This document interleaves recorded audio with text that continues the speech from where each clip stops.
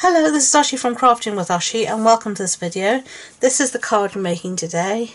Yes, I know it's Christmas paper, but as a friend of mine says, you know, penguins aren't just for Christmas. And it says, to the coolest friend ever. And the reason I'm using this paper is it's a freebie that you can get during celebration. And celebration is August through September. And for every £45 you spend, you can get a free item. And this penguin paper is one of the free items. So I really wanted to show it to you. And to be honest, as a crafter, you know, it's never too soon to get started with your Christmas projects, is it? You know, because um, if you're making one of handmade crafts for Christmas, it takes a bit of time. So you need to get started early. So I'm going to use the Stamparatus. And I'm put my little piece here of basic white inside like that. I'm just going to line everything up and I'll show you the stamp set we're going to use. It's a matching one called the Penguin Place. I'm going to use this little fella here, so let's get him out. Sorry for the noise. And we're going to put him down. So I think I'm actually going to move all of this along into the centre so I can see what I'm doing better. Because of my magnets, it'll hold everything in place. So I've got here, him there, and then I'm going to use the sentiment again to the coolest friend ever, which is this one here. Um,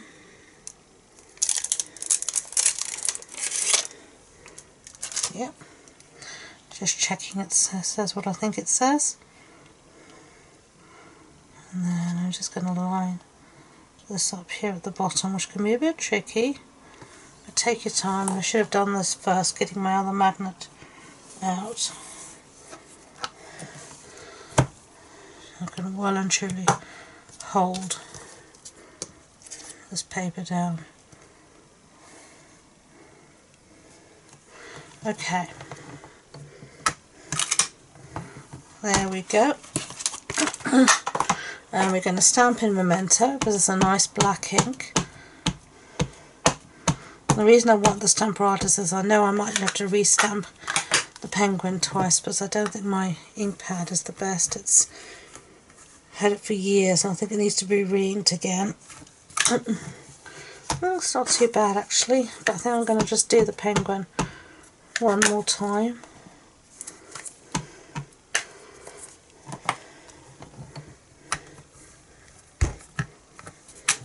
Yeah.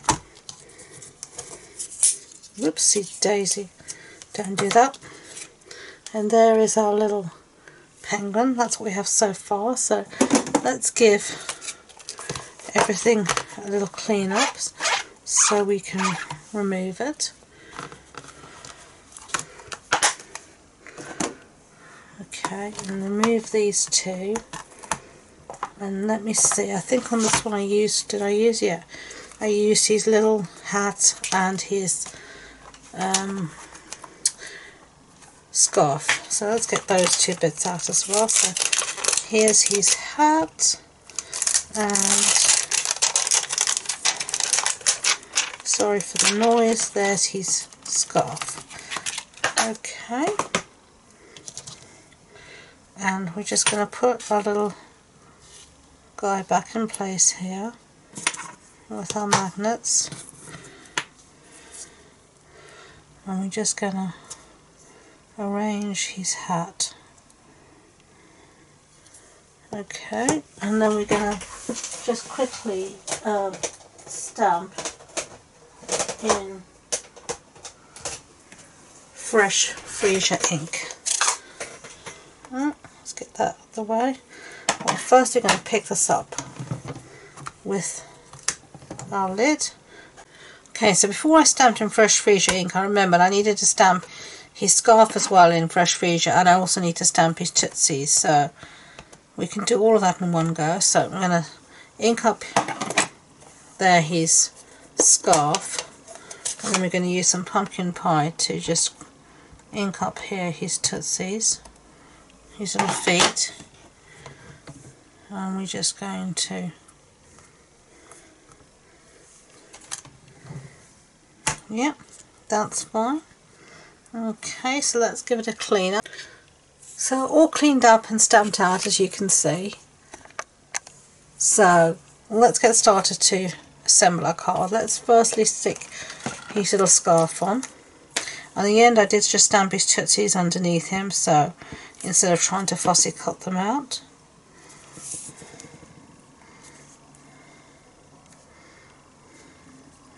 There's his little scarf. Now I do want to show you, uh, you could have fussy cut him using this little, this is the matching punch obviously and this will cut his little tootsies out and you could have cut each one out and done it but I couldn't be bothered so I've done it this way but it's a glorious punch and this comes as a bundle. So that's what we have so far. So let's get assembling our card base is fresh freesia so that's a standard A6 card base that's an A4 sheet cut in half and then folded in half and then I said as I said got this gorgeous penguin paper that matches the stamp set and the punch so beautifully. So you can buy your punch in the catalogue that'll come out in August. You can buy this comes out in August, which is you can buy your punch and your some cardstock and your stamp set and an ink. And then of course you can get your paper for free. So now I've got a piece here of Misty Moonlight and I'm not going to score it in half. I'm just going to take the lazy person way out and just fold it in half and give it a good press down with my bone folder. And this is going to make my little flap at the front like that. Okay. And now I've got a piece of designer series paper that's going to go on the front but first I'm going to bring my magnets in. And I'm just going to use some tear tape here. And I'm going to put my first magnet on the front where I think I want it. And the next one's going to get hidden behind our stamped image so let's just make sure we're going to get it in the right place so press down like that. Now we know everything's going to be in the right place. Take the backing off here. If it wants to fight you, you fight it back. Okay, now we're going to put down our designer series paper on top like this to hide our magnet. And actually, there's one thing I'm going to do before I stick down the side of just remembered before I stick everything down is I want to put my little ribbon pull. So a little bit of ribbon we don't need much. And this is the fresh freesia ribbon which is just simply glorious I'm just going to fold it in half here and use a bit more tape. I'm just going to fold it in half and put it wherever I want it and hold it down securely with my tape. Get the backing off. And now wherever that piece was here we can stick it down now and it will cover all of our sins. As long as we get it straight that is. We'll try to at least. Make a good attempt like that. Okay so now you can pull this open. So now we can take this piece off here. And we can stick down our little fella. You can see it's a piece of scrap that I've used before for something else. You don't want to waste anything in your craft room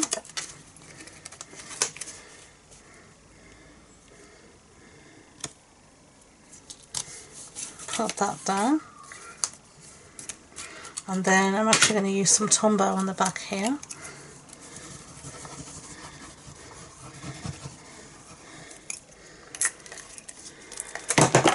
Oopsie daisy. And eek. Not a good idea to cover your grid paper in Tombow. Let me turn it over before I have an accident. And there we go. There's your cards. So, what do you think? I think this will look cute one of my first Christmas cards. So I'm happy to get started. I hope you enjoyed the video. If you did, I'd be grateful if you could give it a thumbs up so YouTube know. And please don't forget to subscribe to future videos. If you want more information about this project, supply list, links to my online shop, all that good stuff, it'll be on the blog post on my website. And the links to that and all my social media links are in the description box below. So thank you once again, and until next time, enjoy me creative. Bye.